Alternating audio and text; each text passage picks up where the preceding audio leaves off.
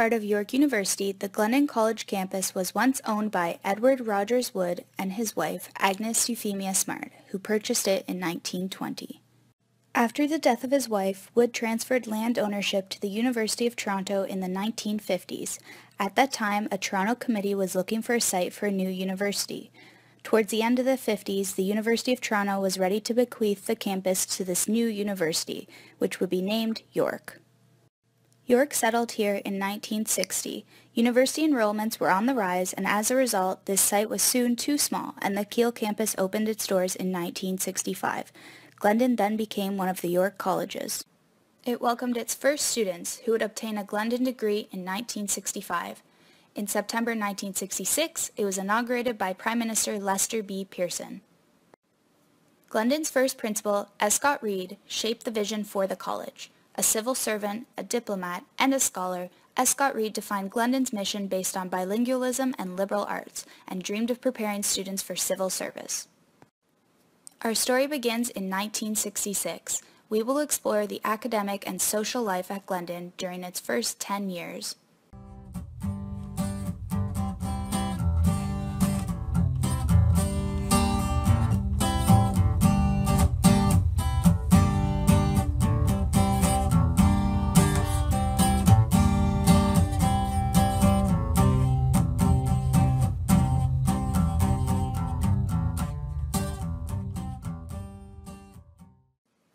When York University President Murray Ross and Glendon's first principal, Escott Reid, contemplated the creation of Glendon, they had to answer a few questions.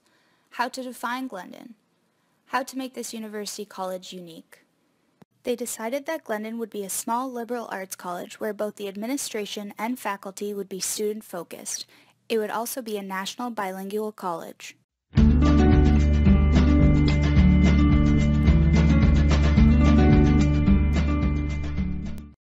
Glendon was created as a liberal arts college, largely inspired by American and British colleges such as Amherst, Swarthmore, Oxford, and Cambridge. Escott Reid was a product of the liberal arts tradition and had spent much of his career in the Canadian Civil Service. His definition of a liberal education reflected this dual experience. It was both academic and pragmatic.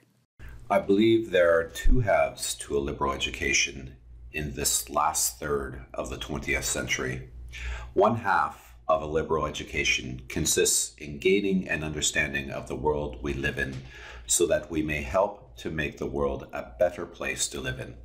The other half of a liberal education consists in breaking the influence of the world we live in and finding deliverance from the tyranny of the immediate, the novel, and the transitory. These two halves are mutually nourishing. Each is the necessary consequence of the other. This definition is reflected in students' decision to choose Glendon for their post-secondary education. In 1974, 66.7% of Glendon students stated that they chose to go to university because they were searching for intellectual stimulation, had a thirst for knowledge and culture, and sought personal growth.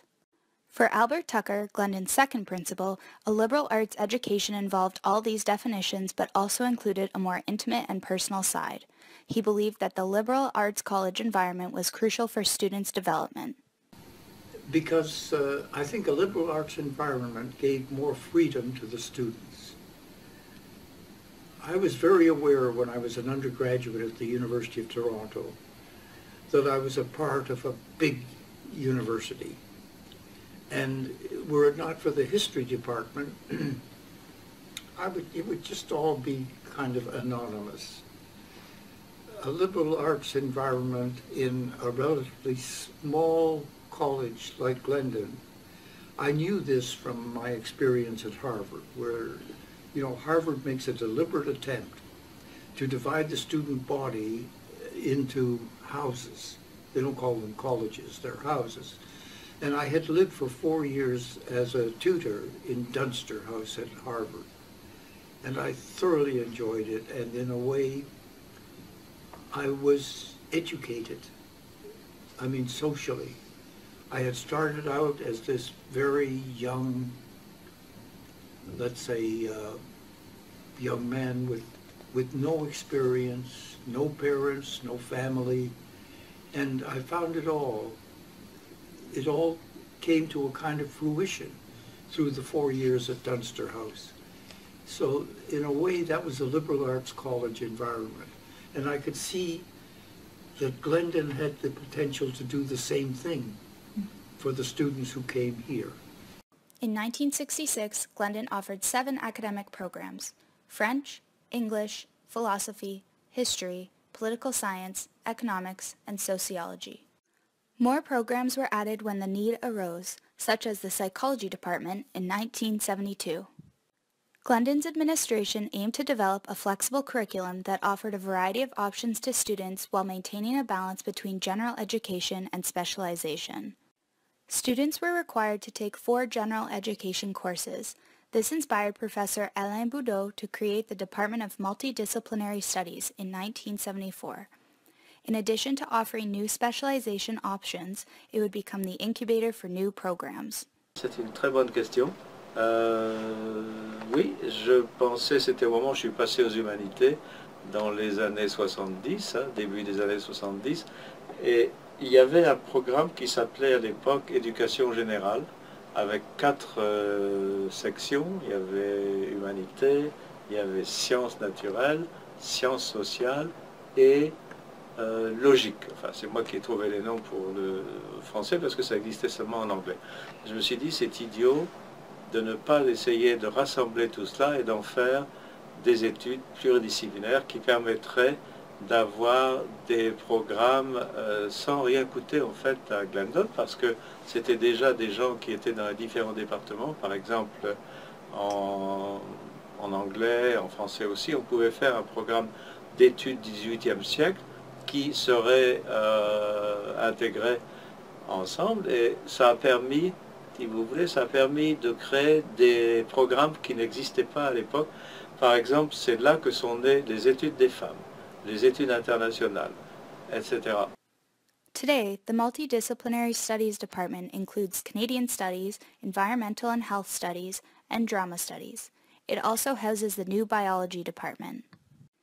As Scott Reed deferred the moment when students would specialize, he wanted them to first have solid general knowledge and gain proficiency in English and French, regardless of their mother tongue. In his opinion, having two languages would allow students to gain a better understanding of both their area of specialization and the Canadian nation. This is why students were required to take English and French courses in their first two years of study. In their last two years of study, students were required to take two specialized seminars, one on Canada, the other on social ethics. It was at this point that they chose an area of specialization. The programs were therefore a blend of flexibility and constraint, and this is similar to the requirements that exist today.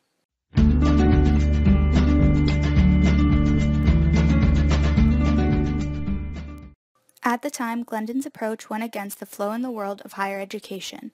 The trend was towards multiversities, that is, large universities with multiple faculties, including arts, sciences, humanities, and professional programs, universities for teaching and for research. These universities could become knowledge industries. York University's Keele campus emerged from this trend, a new Toronto university which had become necessary to accommodate the large influx of baby boomers. In these large universities, however, students could sometimes feel stuck in a very bureaucratic institution where the atmosphere was impersonal. Glendon offered an alternative while retaining the advantages of being part of a large university. At Glendon, the relationship between students and professors was more intimate. The college offered new students the benefits of a small community as soon as they arrived. They were greeted with a welcome ceremony that was almost as formal as convocation. There's a welcoming ceremony for new students. Oh. And every year, the faculty would dress up in exactly the same as the graduation ceremony. Oh. And it was smaller, of course, the parents, but the students were officially welcomed into the campus as uh, students, and we were talked to by the big names, and there was music and Latin, and it was very formal. It was very, very interesting. So you really felt that you came in as part of a um, community. It made a huge difference. The college was a small community, but that did not mean that it was isolated from the outside world. At Glendon, the focus was on teaching, but research was also present through conferences, student forums, and visiting professors. In 1970, for example, as a part of an introductory seminar on Francophone cultures, Alain Baudot organized a month-long trip to Martinique where a dozen of his students met writers such as Edouard Glissant, artists, and a number of important figures. Glendon also hosted conferences. The first international conference was organized by Alain Baudot in 1976 and was entitled Identité culturelle et francophonie dans les Amériques, Cultural Identity and Francophonie in the Americas. It lasted four days and attracted scholars from the Antilles, North Africa, Europe, the United States, and Canada.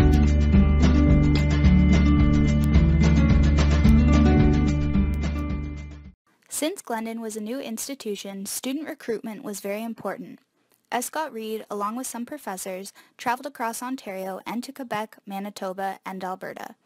They reached out to private and public schools to introduce the college and its priorities.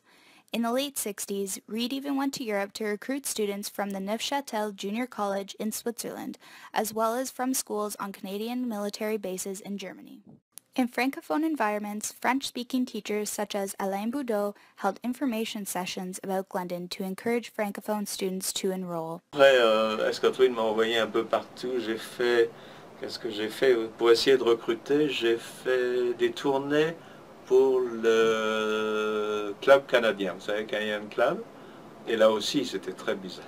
J'allais au Québec, j'allais ici, j'étais partout. Euh, le problème est que quand je faisais cette tournée, la première année en 71, 1971, euh, la personne qui était avant moi était M. Trudeau. Alors évidemment, euh, lui avait beaucoup de monde et beaucoup de succès, moi je sais pas. As Scott Reid wanted to develop a close relationship with Quebec, he had to negotiate with the provincial government so that Quebecois students might receive scholarships to study outside their province. The ideal student was studious, wanted to learn a second language, and was concerned with public affairs. But who really were Glendon's students? Glendon had the reputation of resembling a country club.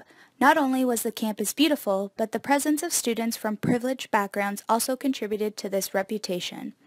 Yet, Glendon had students from all socioeconomic backgrounds. The administration, who needed to increase enrollment, encouraged young Canadians from various social classes to enroll, they wish to promote diversity within the college's student body.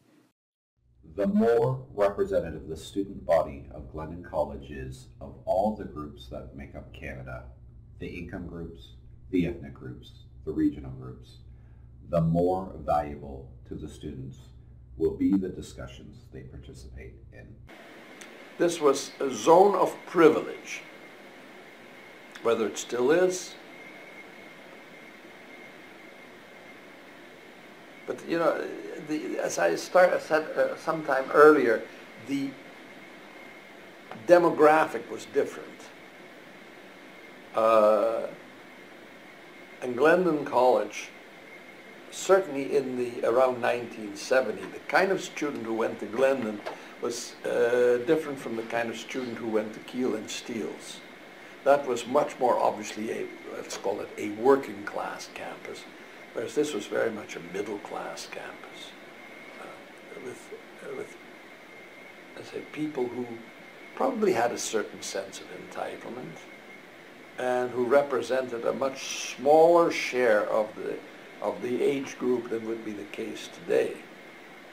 Um, so it was, uh, how shall I describe the campus? White, middle class, uh, not particularly with it. If you're looking for, uh, I'm not quite sure where you would have gone, downtown Yorkville. Plates, they all had the Glendon crest on them. There was a high table. Very elite, yes. Um, called the country club. Yeah. It was Yeah, made by see? York. Yeah. But maybe that's just a myth, huh? Oh, no, it's not a myth. Oh, myth. no. Oh, no, no, no, no. no. Yeah, compared to York, it was a country club. But there was a high table. For Anglophone students at Glendon before the creation of the unilingual stream, the goal was to become bilingual. For them, this meant learning French. Glendon's main linguistic objective is to help Anglophones to improve their knowledge of French and only secondarily to assist Francophones to become proficient in English. And yet, more often than not, it was the opposite. Uh, it's because the environment was really almost entirely Anglo.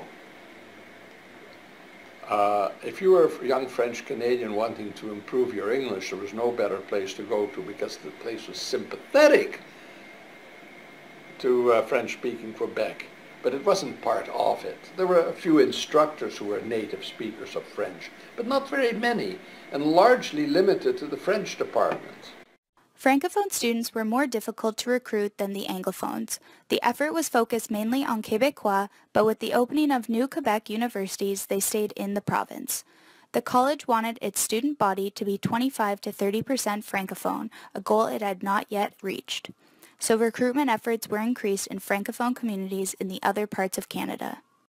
Bien que de tels étudiants soient anglicisés en partie et tendent à se conformer à l'ambiance anglaise qui se fait actuellement à Glendon. Ils nous aideront à former un collège dit national.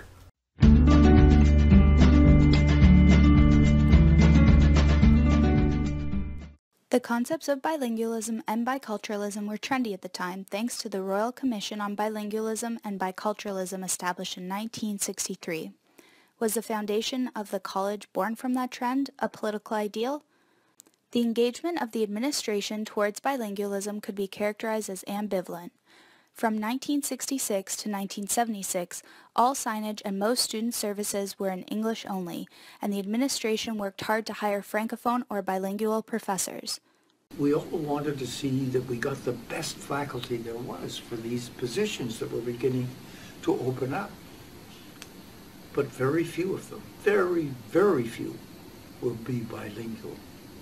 And if you found a good French Canadian in Quebec and tried to persuade him or her to move to Toronto, to Glendon, given the character of French Canadian nationalism, particularly in Quebec, young people did not want to make that move from the towns from Quebec City, uh, from Trois-Rivières, wherever in Quebec. They did not want to make that move to this English-speaking city, you know, with an English background.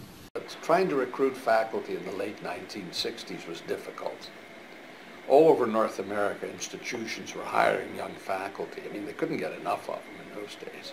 It was very difficult to attract Francophone faculty. There were a few, but not many. And, and the, some of the ones that came here came from France uh, as militaire, because in fr France you could do your military service by teaching French abroad for a couple of years. Mm. So uh, one of them stuck around uh, for a long time, Alain Baudot. C'est compliqué, mais j'étais, je devais faire mon service militaire en France à l'époque, et puis euh, le président Pompidou avait décidé de faire un programme spécial j'étais capitaine, euh, j'étais devenu capitaine, euh, et puis il y avait un programme de, ça s'appelait la coopération, on pouvait aller enseigner à l'étranger au lieu de faire du service militaire. Alors bien sûr, j'ai accepté ça. On m'a offert, on m'a offert un poste à, où est-ce que c'était, attaché culturel à Tokyo ou en Tanzanie. Mais j'ai rencontré le fondateur de Glendon, qui s'appelle évidemment Scott Reed, dans les couloirs du Quai d'Orsay, c'est le ministère des Affaires étrangères en France, et il m'a convaincu de venir à Glendon, tout simplement. Je voulais vraiment, j'aimais beaucoup l'idée d'une université bilingue, les deux grandes langues du monde, l'anglais et le français, et puis je suis venu ici, et voilà. Escott Reid's vision for Glendon was a bilingual college to train future generations of civil servants and young Canadians involved in any domain of public life, from arts to politics. Escott was an interesting man. He believed that young Canadians should speak both English and French. He himself spoke no French at all. In 1971, the college received a $100,000 grant from the province to finance its bilingualism. Several projects were launched, including French immersion opportunities for faculty, staff, and students. Albert Tucker was successful, for example, in convincing Professor Gentles from the history department to learn French. At one point, uh, I said, Ian, you know, I think it would be a good idea if you start studying French. And so he did. And within two years, he started speaking French. He spent uh, his summers. Uh, it was, uh, I'm not sure whether it was McGill, but it may have been McGill University. So that sort of thing would happen. Unfortunately, it did not happen often enough in departments. Other than the Francophone presence on campus, there were two other concerns about bilingualism at Glendon. Several types of French were spoken since Francophone professors and students came from various French-speaking areas. The Anglophone students who were trying to learn French were disoriented. As for Quebecois students, they sometimes felt that they were being mocked for their accents. The other question was about the term bilingual and what it meant at Glendon. What was the goal of bilingualism? Was it a spontaneous bilingualism which meant mastering written and oral French and English? Or a receptive bilingualism, that is, comprehension of the second language but limited mastery? The vagueness of the objective and the lack of initiatives discouraged Anglophone students who expected to become bilingual quickly. Reality upstaged the dream. It became difficult for Glendon to attract and retain students who not only wanted to become bilingual, but who would also stand strong against the obstacles in their way. Too soon, enrollments dropped to dangerous levels, threatening the survival of the college.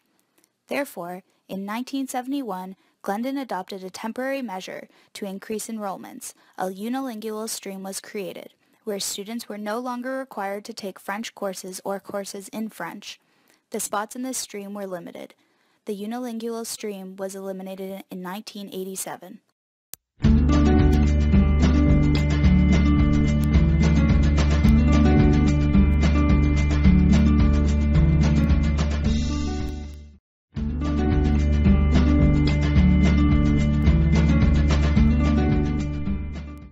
The administration wanted Glendon to be entirely residential. In other words, they wanted all students to live in residence. It was believed that in residence, students would receive the best education possible. The Wood residence already existed in 1965, and during the first academic year, the Hilliard Women's Residence was built. This residential college ideal did not work out. Many students left the expensive residences to live off campus. It became difficult for the college to fill all the rooms and expansion projects were shelved. In the early 70s came an important change in residence life, the introduction of co-ed residences. It was at that time, you know, that as a part of the student radical movement, and implicit in it, of course, was the interest in women's studies, was the idea of uh, integrating the genders in the student residences. It seemed revolutionary to many of us at the time.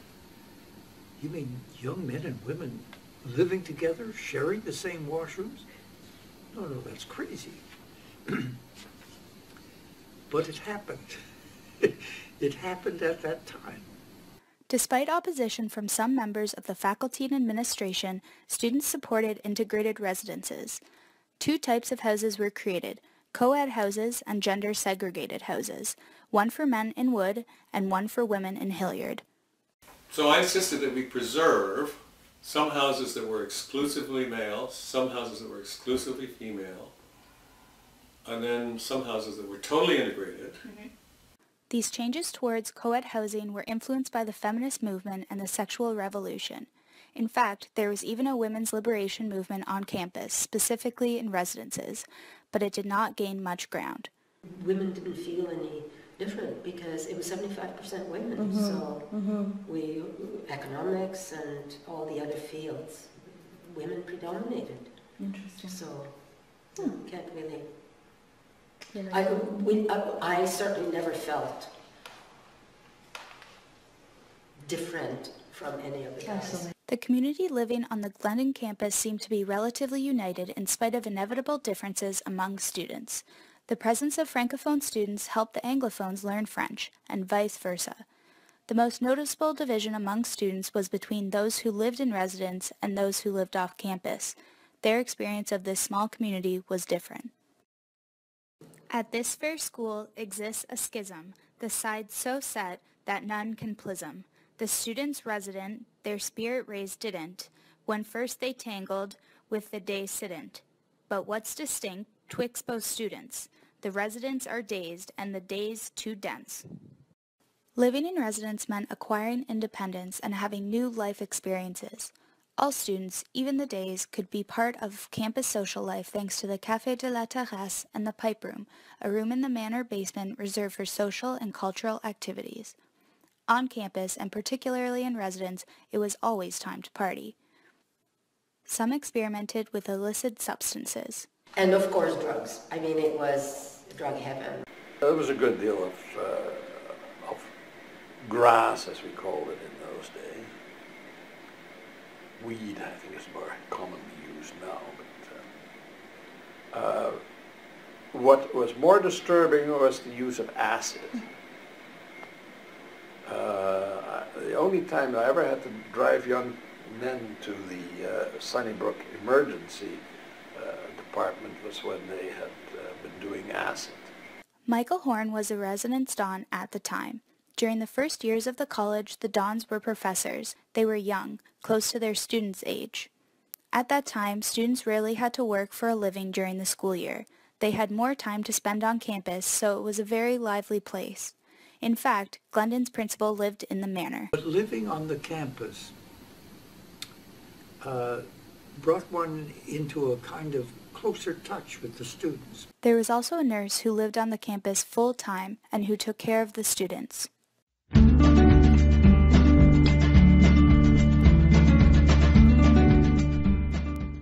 Social life was not restricted to residences, the Café de la Terrasse, or the Pipe Room. There were other ways of getting involved in college life. Glendon had a variety of clubs, organizations, and committees that students could join. There was the Glendon Student Union and a student council for those who wanted to get involved in governance. Today, the Student Council and the Union have merged in order to better manage student interests. There were fewer clubs then than there are now, but there were still many options. There was a religious group, a film club, and even a Francophile club named Chasse Galerie after a French-Canadian legend. It organized music lessons, a classical music and choir group, dances, French movie nights, and French literature discussion groups. Pro-Tem, Glendon's student newspaper since 1962, was a weekly paper that involved many students who would later go on to successful careers in journalism. Students also showed their political affiliations by creating clubs that were aligned with political parties or more informal groups. And it, it was very informal. There was a group of people who, you know, were not happy with any of the political parties. There, there was a there was a liberal and a conservative and an NDP uh, club on campus, uh, but none of us were none of us in this informal group were particularly happy with any of them. So um, we we formed this rather informal FRO, and um, yeah, I guess we were a number of us were always proud of the fact, or at least for most for most of the time, we didn't have any Trotskyists on campus, so we were more. more, purely left wing. on the other hand, there were more sports teams than there are today. The Athletic Council was responsible for managing the sports programs, the intramural, intercollegial, and interuniversity programs. In 1970, and for the fourth year, Glendon was intercollegial York champion. Glendon also had less formal sports activities. In, in those days was actually an outdoor skating rink down by uh, Proctor. In behind, I think they've they took they've taken it out now. It was um,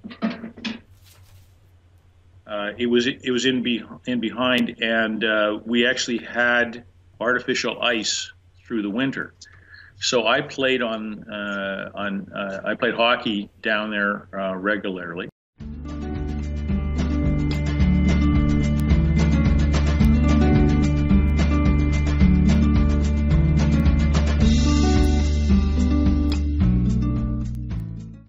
The 60s and 70s were a period of activism throughout the world, and students got organized to push for social and political changes.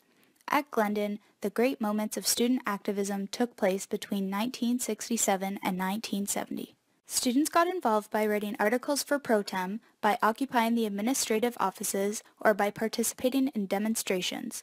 For example, during the opening ceremony for the Hilliard residence, there was a demonstration against the Vietnam War. Some Glendon students tested the attitude of Canadian customs officers by attempting to enter Canada from the United States as U.S. Army deserters. So Graham Muir and Chris Wilson, if I remember correctly, they uh, went uh, and posed as draft American draft dodgers try to get across the Canadian border and were really given a very, very hard time. And they wrote an expose that actually made the national press. Actually saw witnessing uh, a, an American burning his draft card uh, in one of the one of the um, uh, it was in Hilliard, one of the um, TV rooms in Hilliard, common rooms. On campus, students organized conferences. These forums attracted media attention because of their topical themes and their renowned guests. The Quebec Year 8 Forum, organized by David Cole, took place in November 1967. This conference attracted attention to Glendon from across Canada. The organizers wanted to give students the opportunity to learn about the Québécois perspective. Prestigious guests attended the student forum, including René Lévesque, Claude Ryan, and Gilles Grégoire. Brought in some heavy hitters to talk about both sides of the separatist question and so on and so forth. And you can, there's a little um, book published afterwards with the title Quebec Year 8. One of the people who came was René Lévesque, who uh, major, made a major hit. I think he was probably the most popular participant because of his style and his kind of slapdash in those days. The forum titled The Canadians, which took place in 1968, was led by a student named Bob McGaw. It focused on Aboriginal populations in Canada. Many Aboriginal leaders such as Tony Antoine and Harold Cardinal participated and criticized the policy of the federal government under Pierre Elliott Trudeau. Sandy McKay, one of the organizers of the forum, explains the impact that this conference had on him. Harold Cardinal took me under his wing, um, and he was very much responsible for my uh, transformation into from a from a nice little Glendon student to um, a, a, much more radicalized and critical social activist. And um, that night specifically, if we were standing up because they were denouncing firmly the Indian Act and the manipulation by the Trudeau and Chrétien government uh, to get rid of the Indian Act and all the protections of the territory and any rights or privileges that Native people had. That's they were the first people to denounce that. The organizers of the following year's forum were inspired by the protests in 1968 at Glendon and elsewhere and chose to name the Anti-Authority Conference the Year of the Barricade. This forum was a product of the previous year's radicalization of the Student Council, including the new orientation week, Liber Action. For the year 1968-1969, the members of the Student Council prepared a manifesto entitled A University is for People, this manifesto criticized the academic and social structures of the university and redefined post-secondary education. Education, as we have defined it, we take to be the only meaningful goal of the university. From the education of its members will come the benefit to society in intellectual, spiritual, and physical terms. We reject out of hand the concept of the university as an institution which must safeguard society's values by simply expanding our means to subdue and exploit nature so that we may fulfill arbitrarily aroused desires and raise the material living standard. These students believe that there is a lack of transparency at the administrative level, as well as a wide gap between students and professors. They rejected Glendon's formal hierarchy. Here are their demands. Therefore, we call for the abolition of all evaluative processes which are other than self-induced, the abolition of the formal course structure, compulsory and non-compulsory, created by anyone but the members of the college, and the immediate removal of all symbols which contribute to the social stratification of various members or groups of the Glendon community. All common room washrooms, cafeteria tables, should be available to all members of the college. A university is for the people, and this realization must inevitably come to all academic institutions in North America. Let us begin at Glendon College. As a result, professors no longer took their meals at the table on the stage in what is today the Glendon cafeteria. Professors' washrooms were shared with students, and new course experiences were proposed. The students, they were very young, but really, really committed to many of these causes. And of course, you know, in the early, late 60s, early 70s, students were marching all over the place. It was going on around us. These were people who were involved, they were concerned, they wanted to change Glendon and to change the world. They disagreed among themselves as how this be done. Um, so it was a very uh, engaged. That's what I, I guess a good word for at least for me. I mean, I you know there were a lot of people I think who went through go through the school, they get their degree, and then and then they they move on. But for there were a group of us that that uh, the college was more than that. It was um, it was a great place uh, to really establish who you who you were and how you thought about the world and that, those sorts of things.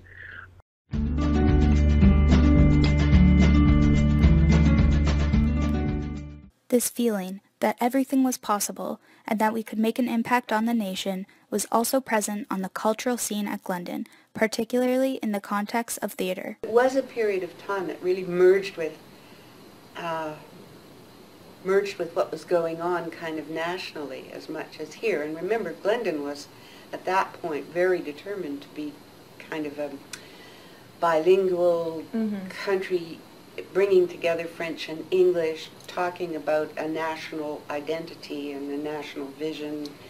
And so it, what we were doing, we, we thought was absolutely part of the, the Canadian theatre scene or the writing scene in Canada. That I mean, Margaret Atwood was a young prof at Atkinson for a couple mm-hmm. of uh, part-time courses, and she was just writing her first volume of poetry, The Circle Game A few years after we began, Michael Ondaatje came, and he was very, very young, and joined our department. Mm-hmm.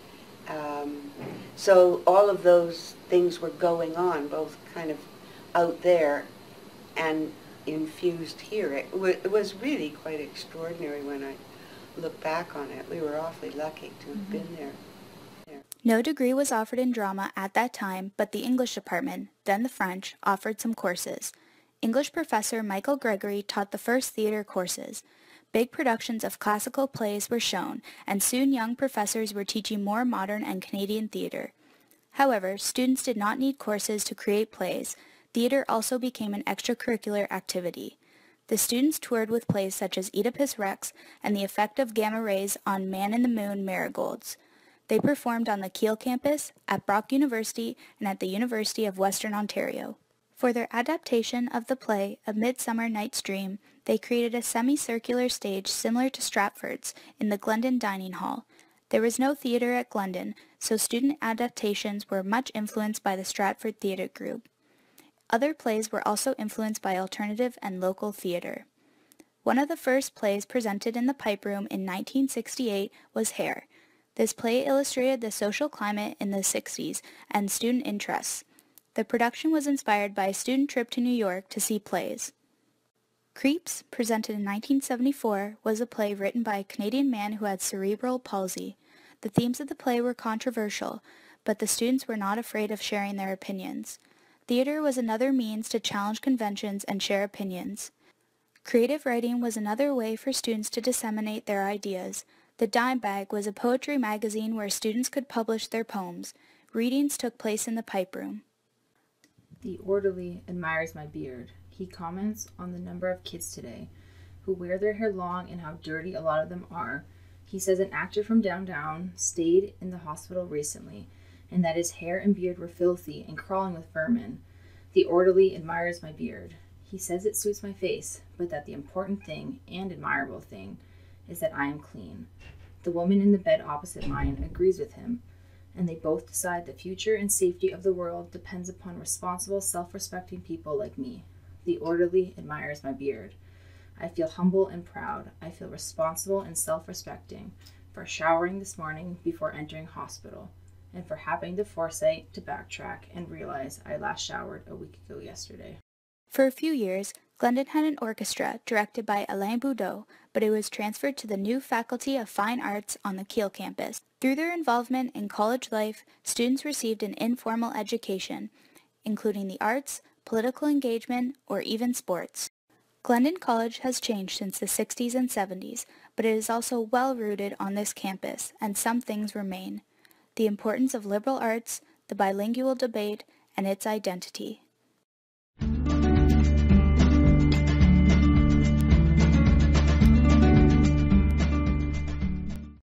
Premièrement, le campus. On est en plein milieu de la ville, à Toronto, mais on a un super beau campus boisé, euh, avec plein de nature autour. C'est vraiment comme une belle expérience d'être dans un, si bel endroit.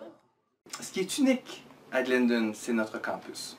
Euh, nous faisons partie d'une des plus grandes universités canadiennes et nous avons quand même une expérience universitaire et académique à échelle humaine euh, et d'une diversité incroyable au niveau euh, de nos étudiants et de nos profs. Euh, et pour moi, c'est cette habileté de faire partie d'une grande communauté académique, mais le vivre à, un, à une échelle très humaine. What makes Glendon unique is the small community. Everyone you meet here, whether it's students or your professors, or is always so friendly and welcoming. And it just feels really good every time you step on campus. Glendon is a small campus with small classes, and today uh, this is a great luxury. Aussi la taille de l'école, j'aime bien qu'on est tellement, euh, tellement peu d'étudiants. Ça fait en sorte que nos classes sont tellement plus petites et qu'on a vraiment des bonnes expériences plus personnelles avec nos professeurs. Le, sens de communauté et le fait que les étudiants ont la chance de se faire connaissance rapidement les incite à être plus impliqués dans les activités parascolaires.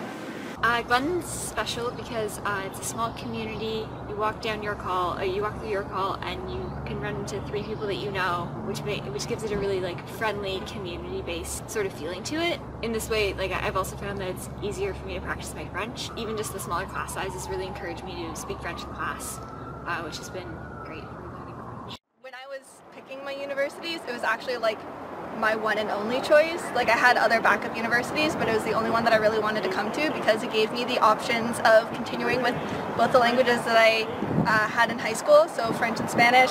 Um, it let me have a BA in psychology, and a lot of universities only have a BSc right now. Le bilinguisme est au cœur de la mission même de Glendon, et ce depuis sa fondation. Il y a plusieurs raisons de croire en l'importance du bilinguisme. D'abord, pour des raisons pragmatiques, une personne bilingue au Canada et à Toronto en particulier se trouvera toujours un emploi, il y aura toujours plus de, possibilités d'avancement. Mais aussi des raisons civiques et politiques. Le bilinguisme correspond à l'idéal qu'on se fait du Canada. C'est une façon de répondre à l'essence et aux valeurs canadiennes euh, et ce faisant contribuer à son unité. Il y a aussi une dimension mondiale, globale du bilinguisme anglais-français. Premièrement, on sait que les deux tiers de la planète parlent plus d'une langue. Le bilinguisme est une façon pour nous de refléter une réalité mondiale. Mais plus important encore, euh, on sait que le français ne cesse de croître dans le monde, surtout dans le continent africain, au point où on s'attend à ce que ce soit une des langues les plus parlées sur la planète euh, d'ici 2050. Et dans ce contexte, le bilinguisme, c'est aussi une façon de s'ouvrir encore plus au monde et s'assurer un contact plus riche avec les autres cultures.